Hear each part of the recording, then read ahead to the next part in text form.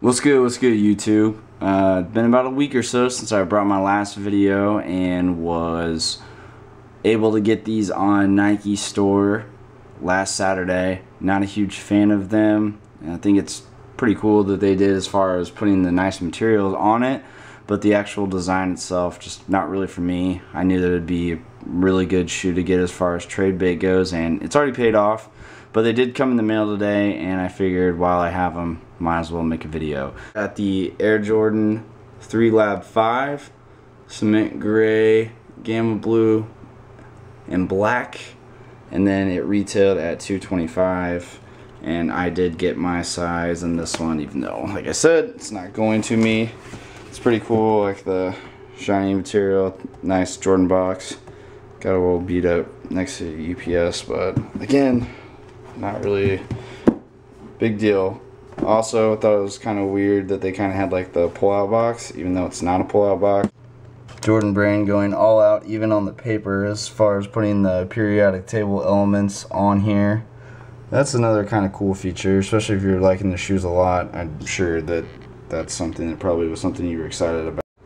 And here they are. So, as you guys have seen in plenty of other reviews probably already, you got the all upper elephant print. You can barely see that Jordan. I mean, it sticks out, but you can actually hardly see it on camera.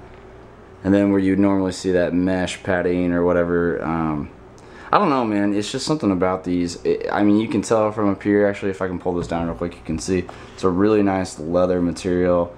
It's just like I said, it's just not really for me. The materials are on point. Maybe if they did another colorway of it, Maybe if they actually made it the Jordan Chicago Bulls colorway, it'd be pretty cool. But I could see why people like it for sure. They did go ahead and you can kind of see that bluish tint to it. I'm not really that impressed.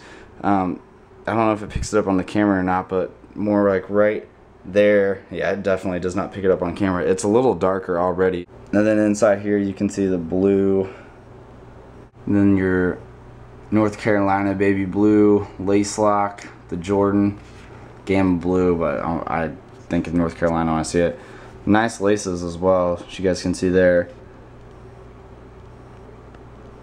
So, you know, overall, quality-wise, I'm going to have to say it's probably like a 9 out of 10. But just appearance, look-wise, I don't know. Just does not do it for me.